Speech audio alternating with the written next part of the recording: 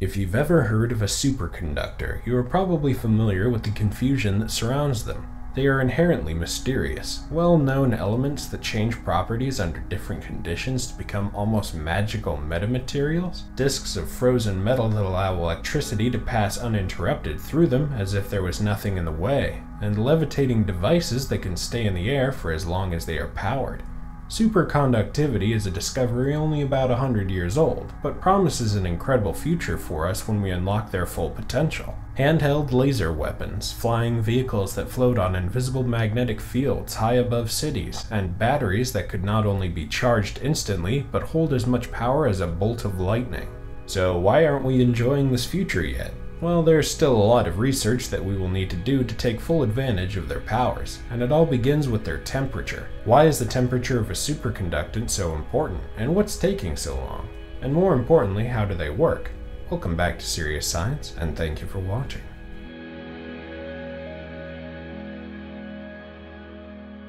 Let's begin with what a superconductor actually is. In the world of electronics, the conductivity of a material is the measurement of how easily electricity can pass through that material without degrading into uselessness at the other end. For instance, copper and gold are extremely conductive, allowing electricity to pass nearly uninterrupted, while rubber and plastic have very little conductivity, which is why we insulate our wires with them. We want all of our electricity to stay within the system and not bleed out through a bare strand of copper, which could connect to other wires accidentally and short out a system.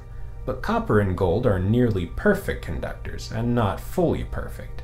As a matter of fact, no known naturally occurring substance conducts electricity 100% perfectly, which means anything we build an electronic system with will always lose a small amount of power as that power travels through the system's different materials. But that's not good enough for us. We need something that will perfectly carry electricity without losses. The amount of power that is lost through the United States power grid alone due to the imperfect conductivity of the wires we use equals out to about 5%, and almost half of the power pushed through these lines are lost as heat energy. We need to transmit power very long distances, as in across a country, which would be degraded to nothing extremely quickly if we did not include boosters and transformers to give the electricity running through the grid enough force to make it all the way to its destination. Power needs to be pushed through anything that is not a perfect conductor, often needing just as much power to push it through the entire system as the amount of power that will reach their final destinations. This means that we have massive inefficiencies in our power distribution systems that will need to be resolved in order to reach peak efficiency.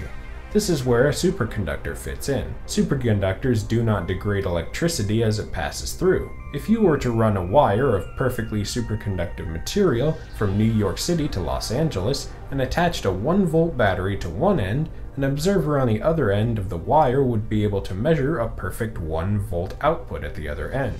No degradation, no boosting needed, no losses to the outside.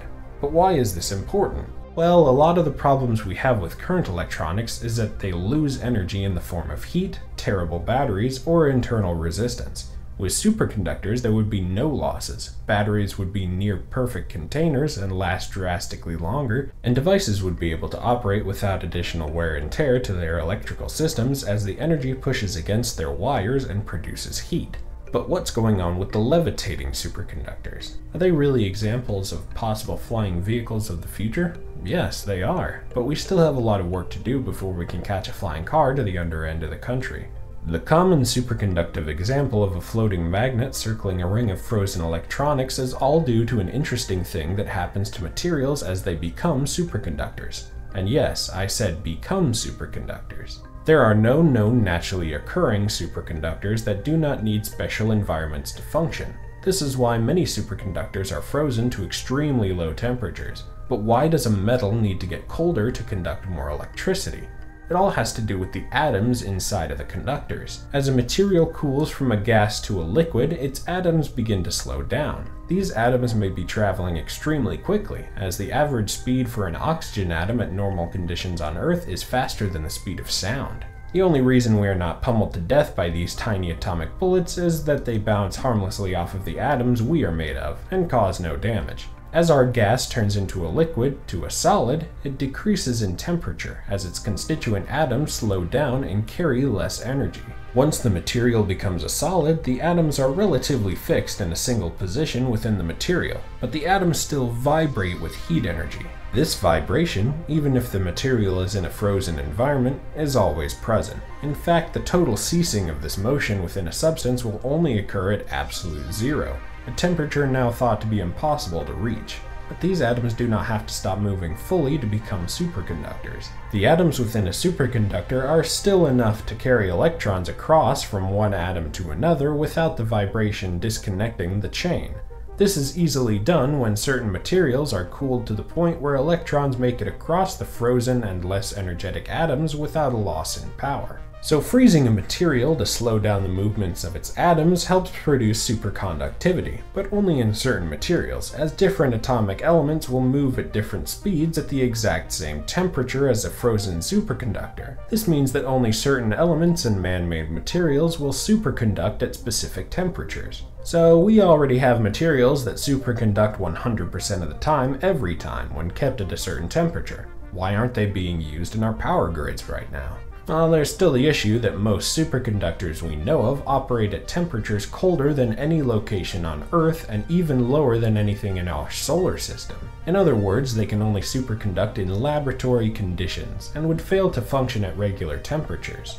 Keeping a several hundred mile long stretch of superconductive wire cooled to these extreme temperatures would need more power than it can carry to keep itself cold. This is why humanity is pursuing room temperature superconductors, as they would need no special conditions to operate. But this perfect balance of temperature is often precarious, as a single degree warmer can destroy its conductive properties. But would these theoretical room temperature superconductors suffer from the same problems? Yes, they would, if we were unable to engineer a material that can operate in a spectrum of temperatures.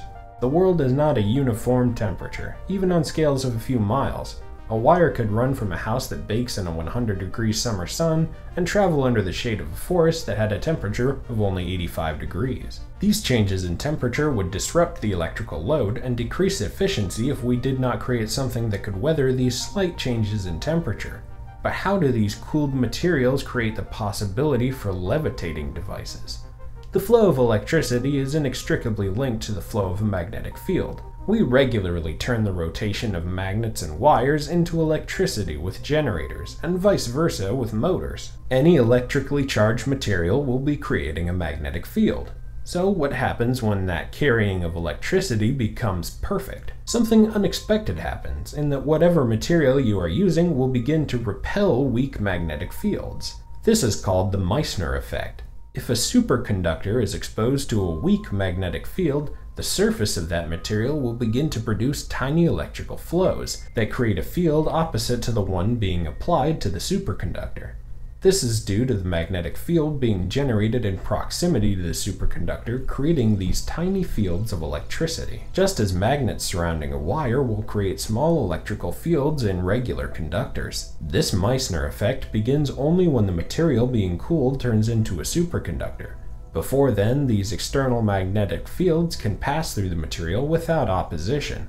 Only when the material becomes superconductive does its perfectly conductive properties begin opposing these external magnetic fields. But these fields will not be infinitely resisted, as a powerful enough magnet will disrupt a superconductor and erase its conductive properties by disrupting electron flow through that substance. This is an incredibly challenging hurdle to overcome, as any powerful enough magnetic field, even if it is a naturally occurring one, will cause our brand new superconductive power grid to fail. This hurdle is made even harder to counteract as there is no known material that shields objects completely from magnetic fields. An additional magnetic field to disrupt outer ones is not viable either, as that created magnetic field will interfere with our superconductivity as well. So what's really going on with those levitating ring experiments? The object floating around the ring is the superconductor, cooled to its critical point. The ring itself is a series of relatively weak magnets that interact with the superconductor's electromagnetic properties. The floating disk is conducting electricity perfectly, and therefore creating an opposite magnetic field to the small ones that it rests above.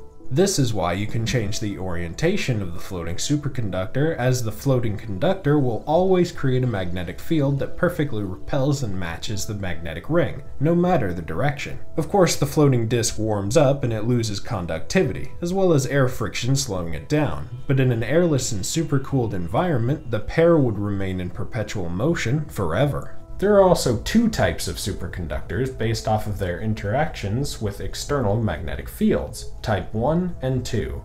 A type 1 superconductor will abruptly make this change as it becomes a superconductor, and all magnetic fields within the conductor will snap outwards and only exist on the surface after it becomes a superconductor. A type 2 makes this transition in two parts, as there is a middle ground it can occupy. As a Type 2 is cooled towards superconductivity, it will begin creating tiny vortexes of magnetism within the material, becoming smaller and smaller until superconductivity is reached, where they disappear entirely. This is important as it can give us a bit of room to work with superconductors at slightly different temperatures, it may hold the secret to one that operates at a wide range of temperatures. If we were to create a room temp superconductor, flying vehicles would be simple to create, as strips of superconductive magnetic generators could be hidden underground in cities or under roads, that would keep vehicles with magnetic plating on them suspended at whatever orientation and speed they originally had. Vehicles that flew using thrusters or jets would not need wings to stay in the sky, and could even stop completely and hover above a single spot. But we are already making incredible progress with superconductors every day, as we already have a material that operates at room temperature. Physicists at the University of Rochester in New York have created a mixture of hydrogen, carbon, and sulfur, which is squeezed together at 2.6 million times the pressure of Earth's atmosphere and bombarded with laser light to induce superconductivity. Yes, it still needs extreme conditions to operate under, but it no longer needs extreme temperatures to do so. The experiment isn't the room temperature superconductor we would need, but it is a promising starting path towards that goal, as well as a valuable example to learn more from, as we now can switch out the extremeness of temperature for the extremeness of pressure. What other condition could be changed and still produce superconductivity? This condition could be something as simple as a change in insulation or the arrangement of an element's atoms. Superconductors aren't only found in labs, as there are many that are used commercially. Niobium titanium is an alloy of the two metals that is used in superconductive magnetic rings to create supermagnets. The affordability of the alloy, coupled with an extreme resistance to external magnetic fields, makes this metal one of the most commonly used to create supermagnets for industrial use. They still have to be kept extremely cold, at about 10 kelvins, but this temperature is easily achieved.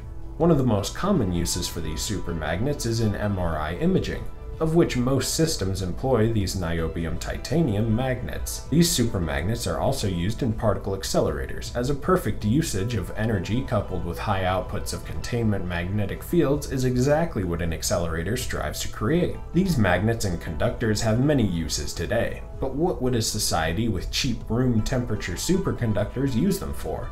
One usage for superconductors is in electricity storage, as energy can be stored within the superconductive material itself and be charged and discharged near instantly. These superconductive batteries are already a reality, but often need extremely powerful cooling systems to function. If a room temperature superconductive battery were to be developed, we would be able to instantly charge any device. We would also be able to instantly discharge however much electricity we have put into that battery, which could be amounts equal to the power found in lightning, as this energy could be conducted perfectly, stored without loss, and would generate no waste heat due to pushing against impure wires. Even a thin superconductive wire would be able to support city grid levels of energy passing through it, as regular smaller wires would melt due to heat generation, while superconductive ones would be unimpeded by this effect. The instant discharging of electricity is just important as their instant chargeability. They could be used as extraordinarily powerful capacitors to run devices that need instant bursts of high energy to function. Capacitors charge up like tiny batteries until they reach a point where they can hold no more charge. When this occurs, it discharges all its stored electricity at once. With a superconductive capacitor, gargantuan amounts of power could be released to power laser weapons and railguns, as both would need instant and powerful releases of energy to function. A laser pistol using modern day capacitors would need thousands of them charging quite slowly for long periods of time, before they could be fired once and charged back up afterwards. This is due to the high amounts of energy needed to create a dangerous laser burst. With a superconductive laser pistol, these amounts of power could be instantly loaded from a separate power source and be released without creating a gigantic blast of heat due to inefficient wires a burst of heat that would most likely destroy the weapon and could seriously injure its user. Rapid releases of energy could also be used in space travel, as quick bursts from electronic thrusters to avoid collisions or powerful magnets to maneuver in the vacuum would be incredibly valuable. These superconductors could even be used to get to space in the first place, as massive structures that run from the ground up into space could be held in place using magnetic fields, so that they do not fall apart under their own weight or return to Earth with a crash. A long strand of pipeline suspended in a powerful magnetic field could be climbed by spacecraft as it gained speed until it left the structure to continue into an orbit saving millions on rocket parts and fuel that would have normally been used in order to get the craft into space the hard way. Magnetism also plays a massive role in medicine, as it is used to make scans, move surgical tools without intrusion, and even help treat cancerous tumors, as a recent experiment done with magnetic fields was shown to reduce the sizes of inoperable brain tumors. These superconductors could not only change the face of transportation, power supply, and warfare, but medicine medicine as well. They will also be used in uses we cannot comprehend currently, as the technology that surrounds them grows and our understanding of superconductivity broadens. One thing is for sure with what we know about them now. If we can perfect them, we will unlock technologies that will change the universe for the better forever. Thank you all so much for watching.